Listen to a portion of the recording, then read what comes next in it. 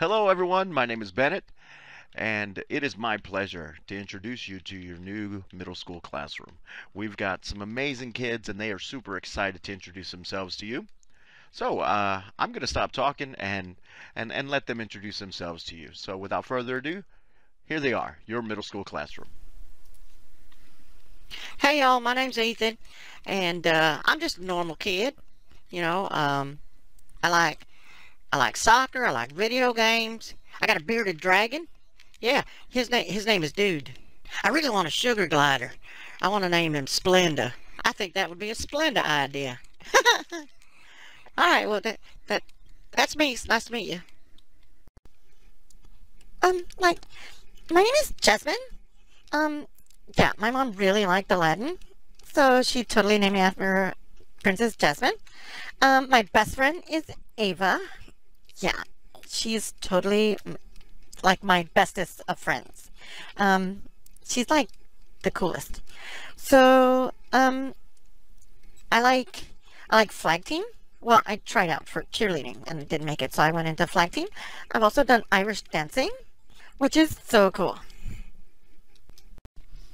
Hi. Yeah, my name is Ava, and my best friend is actually my mom. Um, no offense, Jasmine. Uh, I live with my mom. Um, we're like a dynamic duo. So, yeah, I, I like that. Um, I like going to Sunday brunch with her. We get the same waiter, and he always gives us free stuff. Uh, my my my name is Dev, and uh, yeah, I'm kind of I'm kind of just a normal kid, I guess.